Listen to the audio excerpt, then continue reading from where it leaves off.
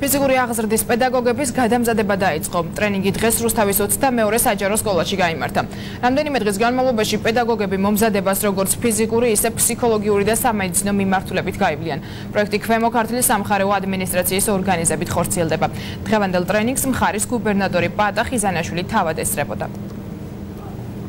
იმისათვის რომ ჩვენი მოსწავლეები ხალისთვის უფრო სხარტები იყვნენ, უფრო კარგად ისწავლონ, უფრო მათი ფიზიკური კონდიციები გაძლიერდეს, სულიერი და ფიზიკური ჰარმონიის მივახციოთ, ამისათვის აი სპორტის სამინისტროს აკადემიასთან ერთად დავიწყეთ აი ესეთი ტრენინგები, ჩვენ ჯერჯერობით ეს არის სატესტო და ძალიან დიდი დაინტერესი გამოიწვია სპორტის პედაგოგებმა დაიწყეს მუშაობა საკუთარ თავზე. ეს არის ხუთდღიანი ტრენინგი, მონაწილეობს რუსთავის ყველა საჯარო სკოლის მასწავლებელი.